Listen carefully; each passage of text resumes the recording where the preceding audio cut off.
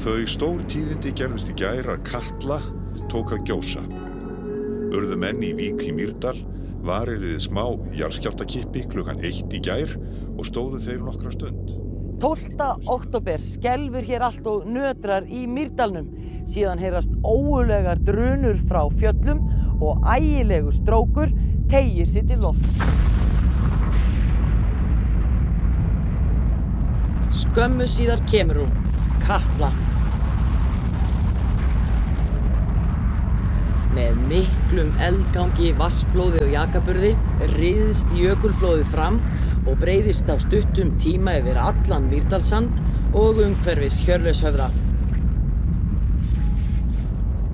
Ég bjóð þarna, átti heima þarna undir bakkonum, vestur með. Og ég náttúrulega stökk upp á bakkana til að sjá mokkinn. Og þá bara hann hátt til lofs að sjá þarna heimann frá mér í norðaustri beint upp og breyti svo úr sér eftir því sem hann hækkaði.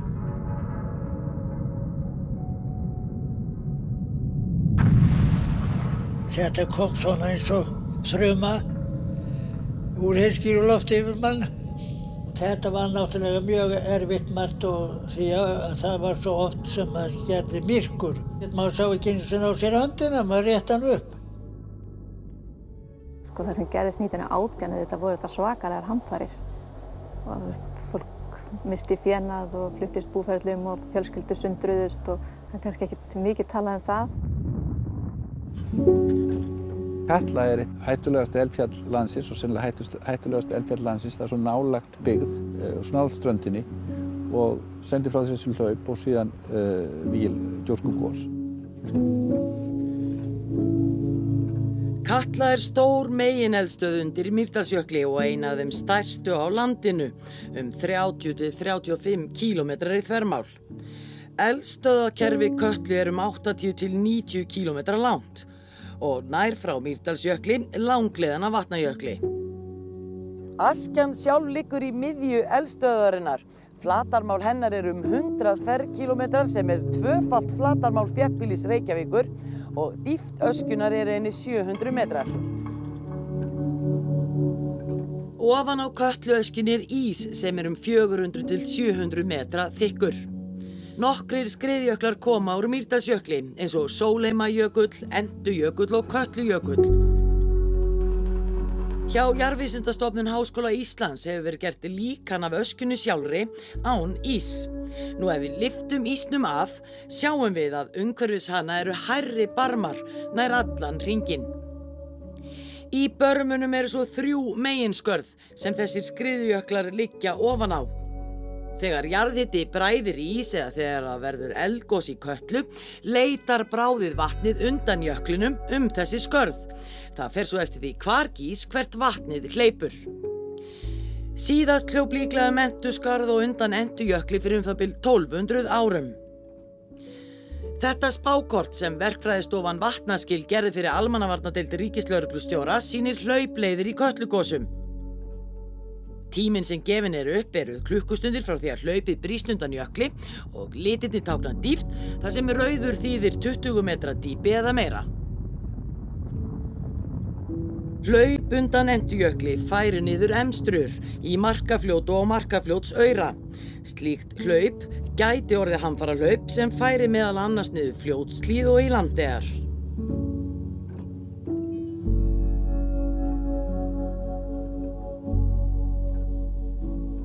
Tvísvar hefur hlaupið undan Sólamejökli frá landnámi. Hlaup þar niður myndi fylla lónið við skriðjökulinn og vatnið myndi flæða yfir veginn niður á Sólaumasand og Skóasand og út í sjó. Fjöldi ferðamanna er á þessum slóðum dag hvern.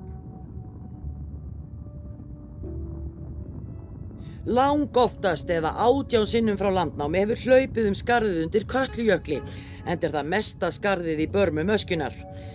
Búast má við að gósa á vatnasviði Kötlujökuls geti komið fram í krika og undan Kötlujökli niður í farveg Múlakvíslar, beggja vegna Hafursegjar og niður á Mýrdalsand. Slíkt flóð gæti orðið hamfaraflóð eins og hlaupið 1918 var og vatn gæti náð allt frá Vík í vestri að meðalandi í austri.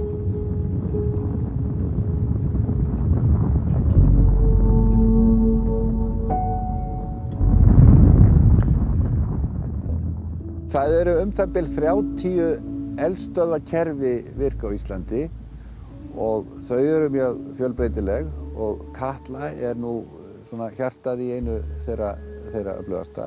Síðan hversu oft hefur gósið, ef við tökum 20. öldina og, eða síðustu 100 árin, þá eru þetta um 30 gós. Það verður eldgós á Íslandi cirka á 30 ára fresti. E, lengsta hlið á 20. öld var, voru 14 ár og, svo getur, getur þetta verið mánuður. Ísland er því eldfjalla eiga og Íslandi þekja jöklar ríflega einn tíunda landsins. Næstum öll hættulegustu eldfjöld landsins eru undir jökli.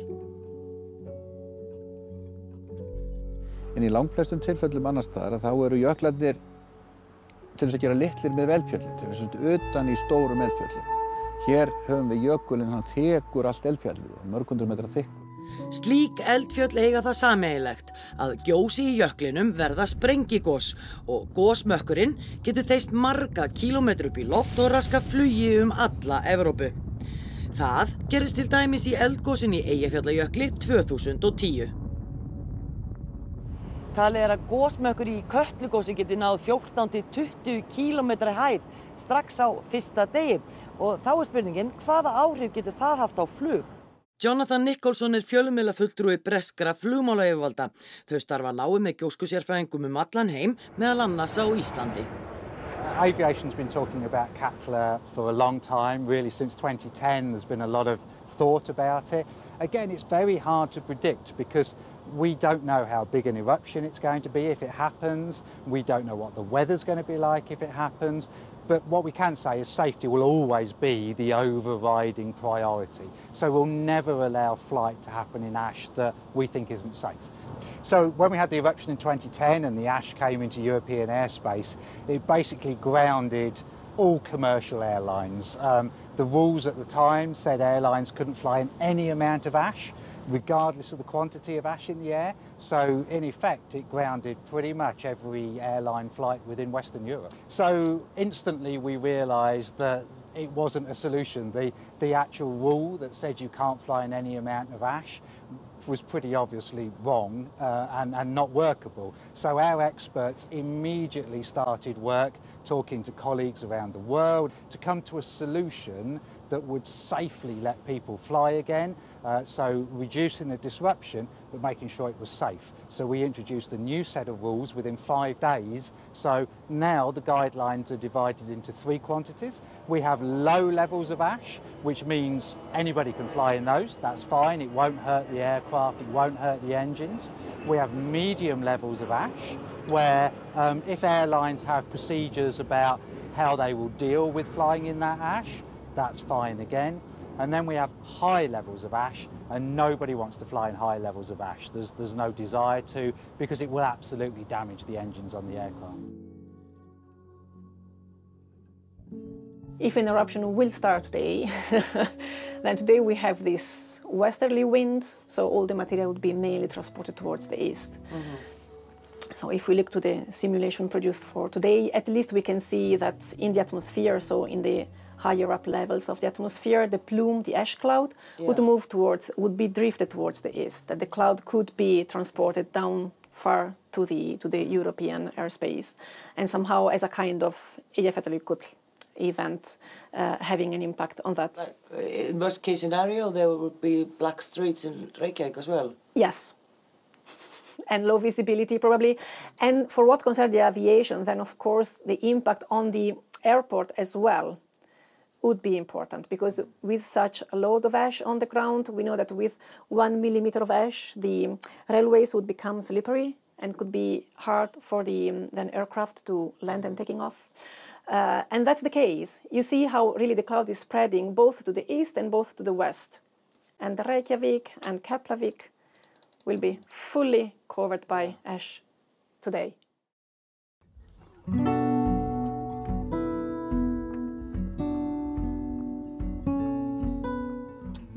Í sumar fóru jarðvísitamenn þangað sem líklegast er talið að hlaup komi undan köllu til að reyna að komast að því hvernig næsta kölluhlaup gæti litið út og hver hættan af slíku flóði gæti orðið.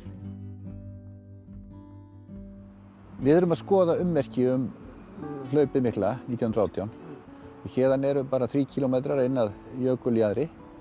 Og uh, hér braust aðal hlaupið fram, fór hér niður Múlakvísl og hérna austan við Selfjallið og hér eru heilmikil ummerki setbunkar sem er að marka hvar hlaupið fór og hér eru margir, margir metrar af efni sem að setja eftir eftir þetta hlaup sem síðan Múlakvíslinn og, og, og afréttisáin hafa grafið sig niður í og þannig að við sjáum heilmikil ummerki. Og e, svo er líka, eru til myndir frá 1918 sem teknar á þessum, akkurat hér á þessum stað eða þessum, hér nokkur neginn þar sem við erum. Og við erum að bera þetta saman og reyna þá átt okkur á því hversu uh, djúft flóðið var hérna. Hér, á myndunum sést uh, jakadreifin, þetta eru feiki miklir ísjakar sem er 50 metra háir. Og, og, og með því að mæla, við getum sagt þar sem við sjáum flóðumörk, mæla þá staði þar sem við sjáum, sjáum hvar uh, á gömlu myndunum hvar jakadreifin hvert, upp, hvert hún náði, þá fáum við mat á hversu djúft vatni var og það er, er að nota það til þess að hjálpa til að skorða betur þennan stórkostlega náttúru viðburð sem þetta flóð var og þessi stærstu köllu hlaup eru. Hlaupið hér fyrir innan, þar sem að sundið er um 1 km á, á breytt, þar hefur hlaupið verið alltaf 30 metra djúpt. Já. Og uh, það hefur verið hátt í 300.000 rúmetrar á sekundur sem ruttist fram. Og það, er, það er svona 800 sunnum þjórsá. Hlaupið 1918 byrjaði á því að brjótast upp úr jöklinn. Rann fyrst ofan á honum og það er það hlaup sem kom hérna niður og fór í Mólakvísluna og sást hérna vestan við Hjörlösáðan. Mm -hmm. Það fór einnig niður í Áltaverð og það fór líka niður í Krika. Það var svona þrískipt hlaup. En síðan kom hlaupið sjálft, eða megin hlaupið og því var líst úr Hjörlishöfða að þá var eins og að, að það kæmu fram heilar heiðar, snæfi þaktar. Það var jakabörðurinn í meginhlaupinu.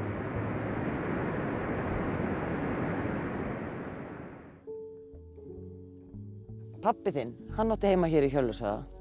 Já, Já. hann var hér í gósinu 1918. Já. Og já, hvernig líst hann því fyrir? Og hann sagði reyndar að það væri eiginlega ekki hægt að lýsa því sem á gekk svona almenlega. Það var svo stórfenglegt. Og það byrjar með því að þau sjá koma mökk upp úr jöklinum og vita þá auðvitað um leið að, að það er að koma köllugós. Þá er hlaupið ekki komið þarna niður á sandin. Þá ætlar hann strax að fara hérna austur fyrir höfða og hóa burtu fjö sem var þar og fer frá bænum og hann gengur hér norður úr og götu sem liggur hér Já. austur úr Dalverpi sem er hér norðan undir háhöfðanum.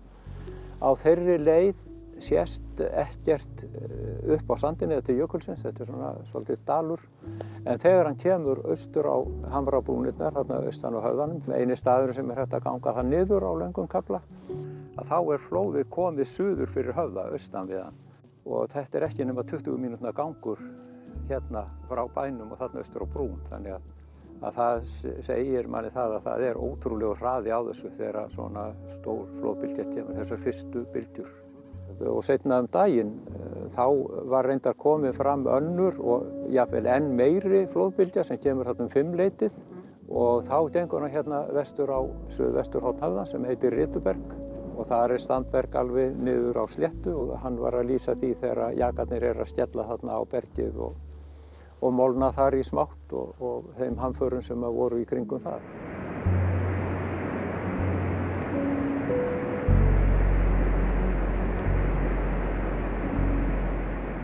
Sumir alvarlegustu atbyrðir sem tengjast eldgosum tengjast hlaupum, vasslaupum, örhlaupum vegna bráðunar ís sem kemur í að stað. Þannig að uh, þó að jökulhlaup eins og við þekkjum þau séu hvergi eins algeng eins og hér á landi og þetta er algengast að gerð svona hvað við kallað eldgos af ár eru, eru jökulhlaup hér á landi þá eru þau þekkt uh, býsna við. Og kallar ekkert eitthvað sérstök uh, að því leitinu til? Eh, við getum nú sagt að Katla sé eh, sem líka kannski í heiminum með það að hér gís það oft. Það, það er mjög tíð gósvirkni á 50 ára fresti að fá svona umtalsverð gós eins og verði í köllu og þessi stóru hlaup, þau eru ekki öll jafn stór, hlaupið 1860 var ekki nema brota því sem kom 1918 til dæmis. En Katla er í ákveðnum flokki að því að þetta eru stærstu hlaup sem að sinna tegundar sem við þekkjum á jörðin í dag.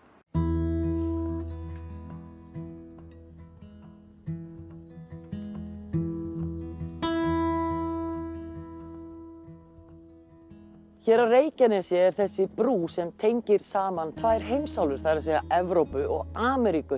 Nú að ástæðan fyrir því að það er hægt að ganga hér á milli heimsálfa er svo að Ísland liggur á útafsrygg, svo nefndum Norður Atlasafsrygg. Nú flekana rekur í sundur og Ísland gliðnar um eina 2 cm eða svo á ári. Skilin milli þessara fleka byrtast okkur víða um land, ímist sem gígaraðir, gjár eða sprungur. Og þessi hluti, hann er á leið í vestur í átt af Ameríku, en þessi er á leið í austur í átt af Evrópu.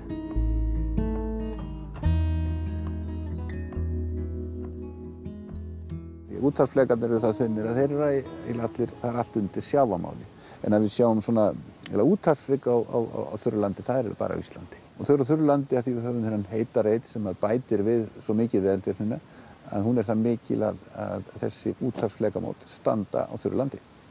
Ísland er svo alveg sérst, sérstöðu punktur í þessu að hún er eins og blanda af útvarfsleik og Hawaii. Og svo er hún hérna svona norðarlega og þess vegna höfum við jökla á eldfjöllunum. Þannig að við fáum fjölbreytari eldvirkni á Íslandi heldur en nokkur staðar annar staðar þegar allt er saman tekið. Undir Íslandi rís heitur möttulstrókur djúft úr yðrum jarðar.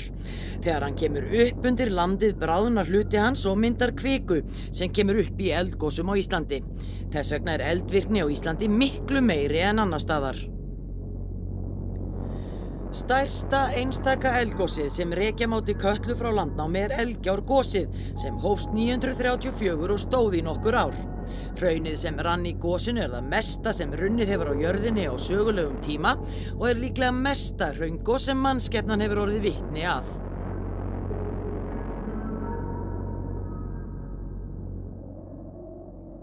Í raun og veru urðu stærstu umhverfisbreytingar frá landnámi. Það urðu einmitt í kjölfara Elgjárgósins. Þá rann e, í fyrsta lagi Elgjárhraunin, þau runnu niður í Áltaver meðal land og landbrott og gósprungan sem var sennilega um 75 km alls, 15 km af henni lágu undir Mýrdalsjökli þannig að því gósi fylgdu sennilega allra stærstu jökullaupin sem komið hafa. Áður en að, að þetta mikla gós varð, þá var hér allt annað land. Þá var til dæmis hérna á bakvið okkur, mm. þar var fjörður, Já. kerlingafjörður. Hann hefur nú sennilega verið lón á bakvið Sandrif og ef þú horfir hérna í endan á Hjörlaushöfða þá gæti þetta Sandrif eða þessi skilmiðli sjáar og fjarðar hafa leið hér í bo boga Já. og síðan verið fjörður þar fyrir innan. Hér í Skiphelli var til dæmis útræði á árum áður en í Köllugósi 1660 tók útræði af þegar sandurinn sem barst með hlaupinu myndaði fjöru hér með höfðabrekkufjalli.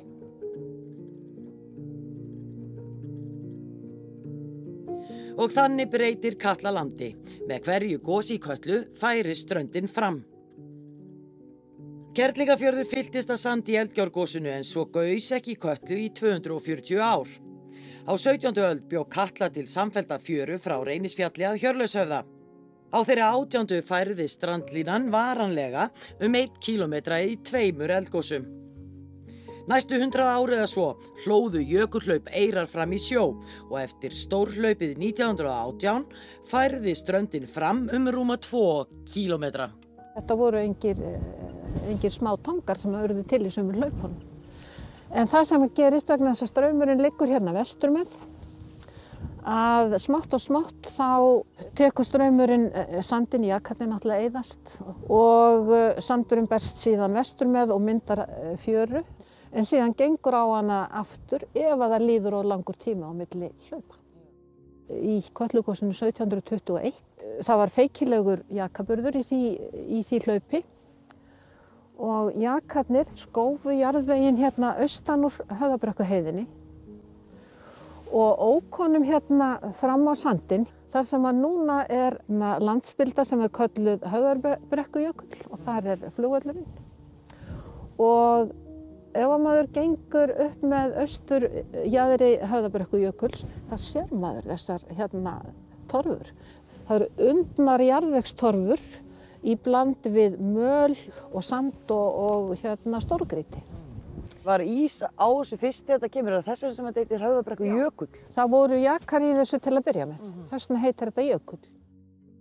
Uh, fyrir Elgjá þá vitum við að allavega stærstu hlaupin, þau fóru niður hérna markafljótt. Þau komu undan til dæmis Endijökli og fóru niður hérna markafljótt og niður í landegjar. Þannig að það hefur eitthvað breyst við Elgjárgósi? Það er alveg líkjendum, já. já. Það gæti hafa orðið tölvört öskjusik þess vegna og það gæti hafa breytt hérna landslægi í öskjunni þannig að hlaupin leituðu frekar austur eftir Elgjárgósið.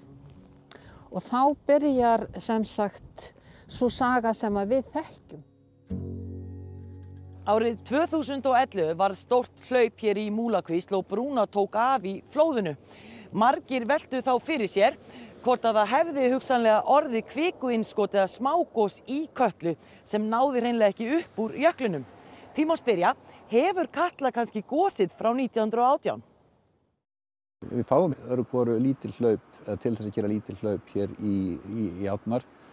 Mjög lítil hlaup árlega oft, oft ári sem koma alveg fram sem leiðindi toppar í ánni og aðeins aukinn vöxtur og svo einstakar sinnum eins og 1955 og 2011 þá komur stærri hlaup hér í Múlakvísl smá atbyrður í samanbyrðu við stóru kvöldilaupin eins og 1918 en eiga síður nót til að í báðum tilfellu tóka þar brýr sem þá voru á Múlakvísl og teftu veginn. Það sem við vitum um atbyrðum 2011 var það að vatni sem kom fram ber öll einkenni þess að vera það sem kallað jarðhitavatn. Þannig að vísbendingarnar eru þær að þarna hafi verið aukning í jarðhita. Svo er spurning hvað allir aukningun í jarðhitunum var það hugsanlega innskott af kveiku eða, eða eitthvað annað. En flest bend til þess að þetta hef ekki verið eldgós upp á jökulbotnin.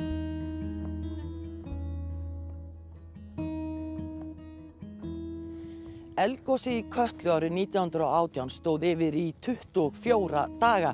Það lagði nokkra bæi í eyði og skemmti beitiland á næri 20 jörðum. Nokkur hundruð sauðfjár og tugi hrossa drápust. Krafturinn í flóðunum var svo mikill að það flutti með sér björgess og þetta langlegana niður á sjó og reynsli þess var hundra sinnu meira en í hlaupin í Múlakvíst 2011. Í Mýrdal, Áltaveri og Meðalandi er svo nefnt krukkspá vel þekkt. Krukku þessi var uppi snemma á 16. öld og þótti getur spátumskáfum. Í krukkspá segir að þegar að Katla komist í auðnublá mun hún brenna í sjó og gjósa ekki meir. Auðnublá var vatn hérna í Meðalandi sem fylltist af sandi í köllugósinu 1918 og bærin auðnar er farin í eyði. Sumir vinnir mínir hér trúa því að hún komi ekki meir og það hafa þeir úr krukkspá. Heldur að, að kalla eigi eftir að gjósa eitthvað tíman aftur? Ég tel það nú afskaflega líklegt, svona ef maður hlustar á vísindamina þá er það afskaflega líklegt og hún er nú alltaf að svona hóstaður í kvorfu en svo hljónar hún aftur en við skilst í dag þá séum svona tiltölulega róleg þannig að en hins vegar eru mörg önnur eldfjöldin í gangi líka sem eru að hósta eins og Örvajökull og Hekla tilbúin þannig að við getum húist í hverju sem er.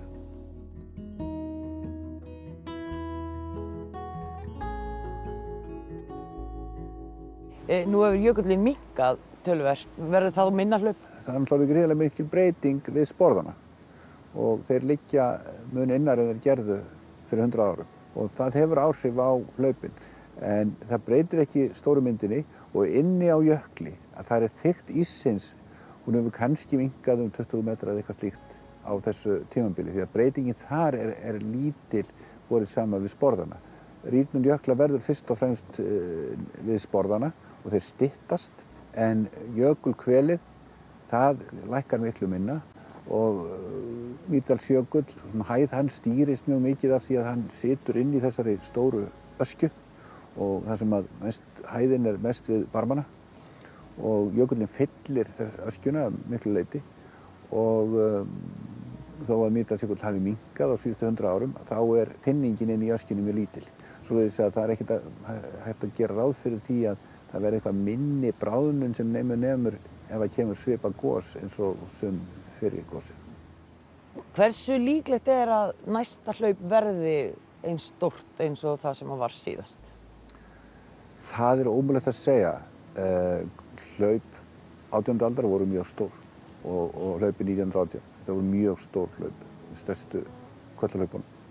Síðan uh, hlaupin á 19. aldar voru miklu minni, sérstaklega 1860. Og uh, er nú er að verða 100 ár. Þá myndum maður ekki kannski halda að það þýtti það að næsta gós yrði stórt.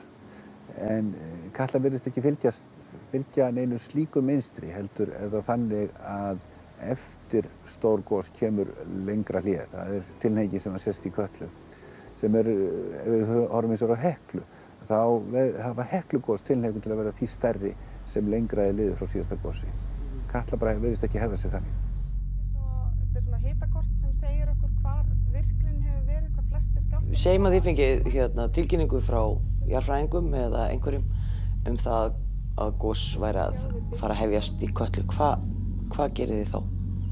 Þá virkjum við almannavarnakerfi hjá okkur, virkjum aðgerðastjórnunar og vettvástjórnunar og hefjum rýmingar á svæðinu.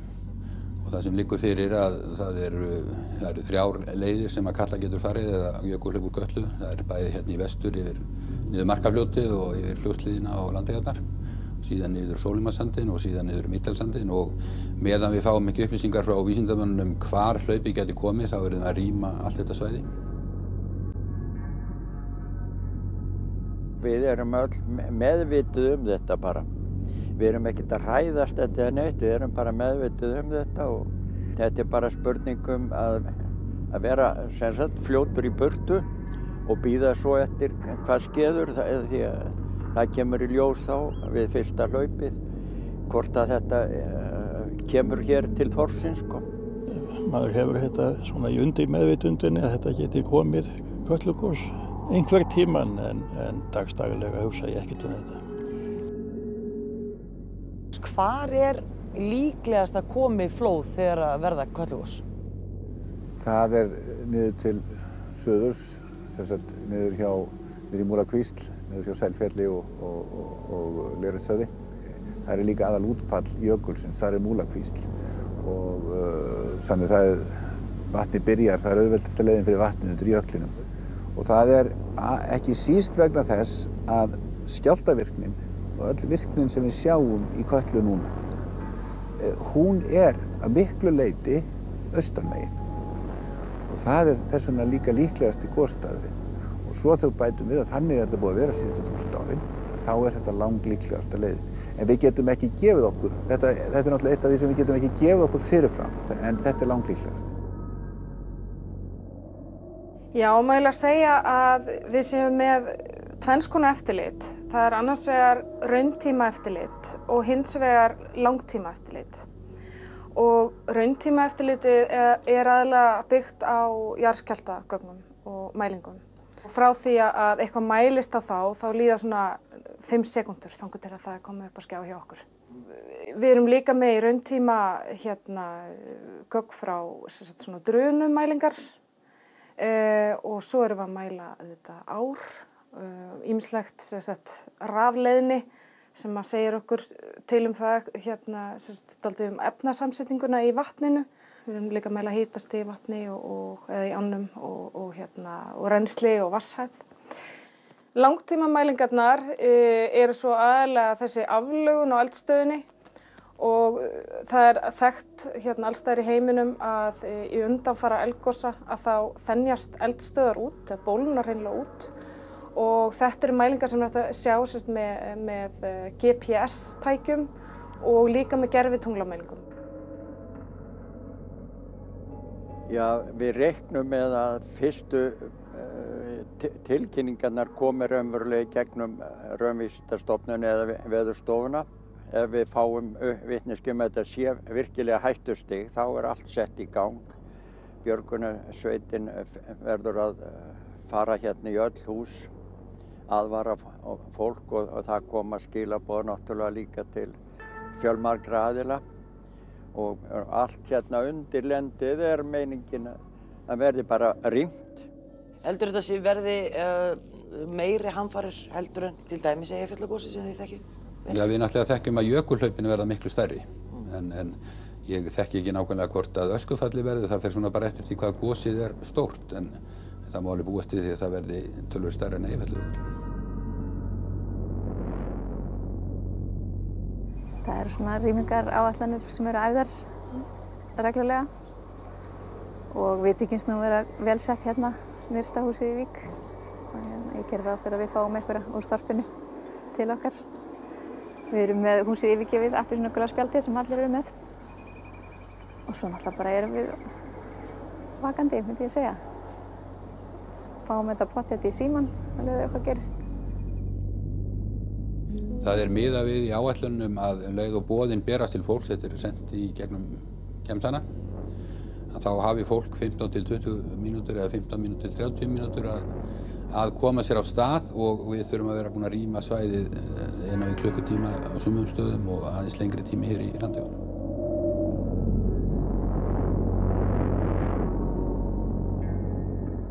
Það er hægt að herma eftir það, herma flóð, reynsli hlaupa, reynsli vass yfir landslægið með því að segjum að sleppa lausu miklu vatni eins og við jökuljaðrana og sjá svo hvernig það flæðir um landið.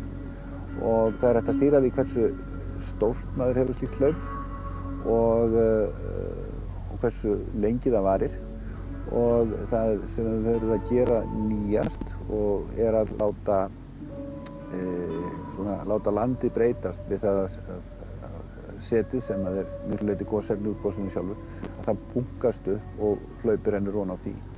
Og þetta eru, það er nú einhverjir færistu fagmenn á, á þessu sviði, eru verkvæðingarnir á vatnaskilum og þeir hafa unnið þetta, unnið þessar hermannir og uh, núna það nýjasta var að meta hvað gæti mögulega farið mikið vatn inn til víkur að óbreyttu og hugmyndin er þá bak við það sem þarf þá svo að svara á að byggja e, varnagarð fyrir austan vík sem að ver þá vík fyrir þessu.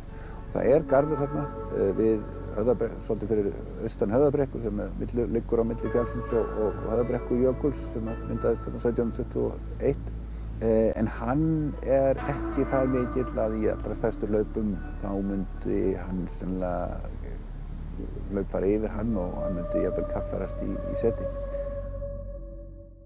Og það þyrkt að grótverja þennan kant þarna á jöklinum svo leiðis að færi bara grótverja vel til að hlýfa frekar að grafa úr honum og, og halda þessari vörð sem við höfum þarna. Já, þannig að það þyrkt að styrkja þennan varnagarð. Já, og um leið styrkir það að verða flugvöllin sem við erum með þarna.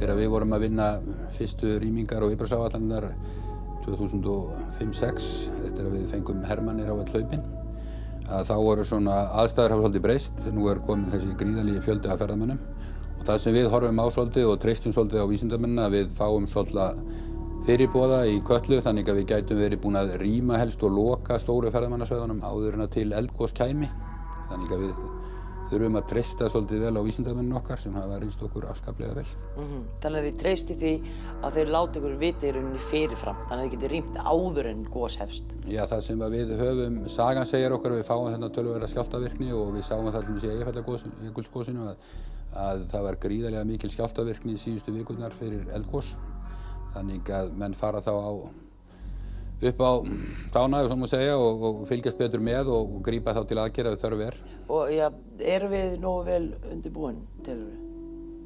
Það er alltaf matsadreiði, hvernig maður er nógu vel undirbúin, en ég held að við séum svona með þessar áallanir og allt og menn þurfum við að vera óhrættir við að bræðast við þegar það er komin verulega hættaði kringum köllum. Hversu mikilvægt er það fyrir okkur að muna eftir eldgósum í köllu, að, rifja upp söguna og þekkjana? Það er bara ákala mikilvægt uh, fyrir, og þá, þá kannski ekki síst út frá bara almannavarna sjónamiði. Og það er einfallega vegna þess að ef, við, ef viðbröð okkar er ekki rétt, hröð og frumlaus þegar að uh, stefnir í köllugós, þá getur líf fjölda fólks verið í hættu. Það er í dag á sumarlægi eru hundruði á ferði við Mýrdalsand á hverjum tíma. Og ef, að, við Íslendingar og þeir sem um þetta vela passa sig ekki að gera hlutinu rétt, þá gæti það gerst að, að veginu var ekki lokað og það kemur hlaup. Þá erum komið stórt slis. Uh, Gerst þetta mjög hratt, sem sagt? Já, það eru, við, við getum ekki verið viss um það að við höfum meiri fyrirvara en hugsanlega einn til þrjá tíma. Kannski þrjá tíma, tvo, þrjá tíma þangar til hlaup er kominir á veg. Við getum ekki verið viss um að sé meira og þá byggjum við á því að, að jarðskjálftandi 1918 að þeir eru kannski klukkutíma undan gósinu. Svo er gósið komið í fullan gang og, og, tveim, og eftir þrjá tíma ekki lengur þá hlaup komið niður að, að hérna, Hjörlöfshöfuð eða þar um er þrjá tíma. Og þetta er tíminn sem við verðum að reikna með. Við þurfum að vera búin að grípa til aðgerða sem er búið ákveða löngu fyrirfram. Það er búið að ákveða hvað var að gera þegar þetta viðbræð kemur. Það er mjög öflugt kerfi sem að, hefur komið á og, og, og er viðhaldið hér af almannavarnar yfirvöldum og lauruglu til þess að geta brugðist nógu hratt og fumlaust við. Og það, það kerfi var, það reyndi aðeins á það í góðsynni eifirlega. Þannig að sagan segir okkur að já, við megum ekki sofa verðinum varðandi köllu. Nei, nei, það er bara ekki, ekki hægt en það held ég að fólk hér, er, hér, í, hér á þessum slóðum í Vík og, og hér í, í Vestusíslinni það er mjög vakandi um þessi máli, hefur alltaf verið.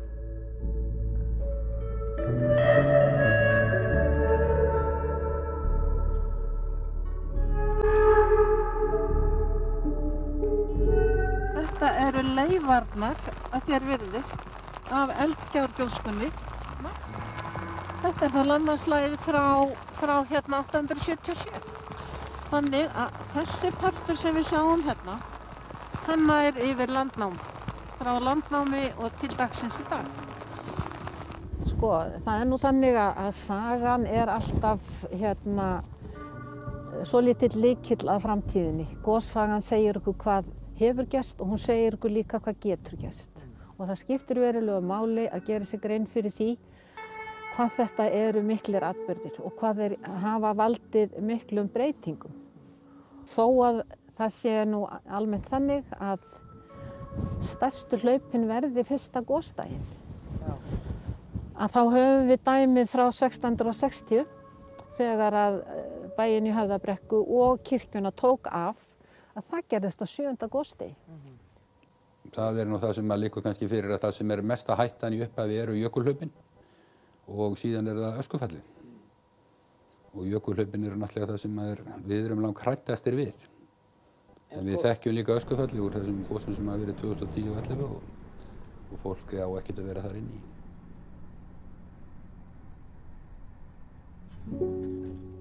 Við umgangust hana bara af virðingu og við vonum til þess að hún umgangist okkur að sína okkur sömu virðingu.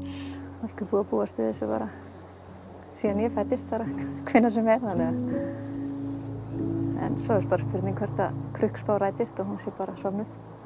Það getur vel verið komin á morgun þess vegna. Það er í raun engin spurning hvort Katla kemur. Hún kemur fyrir það síðar og þegar hún kemur þá verðum við að vera viðbúin. Viðbúin því að takast á við gríðalegt öskufall og hamfaraflóð sem eiga engansinn líka á jörðinni. Ég, ég hef nú verið að búast við henni í 30 ár og, og öðru hvoru haldi að hún væri alveg að koma en, en ekkert hefur skeið. Ég er því bara einlega hundfull ef ég er í dauður áður en hún kemur. Það er náttúrulega guðlast að vera að vonast eftir gósi. Það, það er einhvern veginn innra með manni, langar manni samt að sjá það. Veit ekki af hverju ég ætti ekki að fá að sjá það. Pappi var hér í höfðan 1918, afi átti heima hér 1860 þegar kalla góðs og forfeður mínir sem að mistu sitt, allt sitt hér 1721. Þetta hefur mikið að mínu fólki upplifað þessi ósköp. þeg, ef og þegar hún kemur þá hérna, held ég maður er nú voða skúfaður að missa af því að þetta er upplifun en maður á náttúrulega ekki að óska þess að það komi eldgós. Það er, það er, já, það er ekki gafalega ósk. Já, já. Hún kemur þegar hún kemur.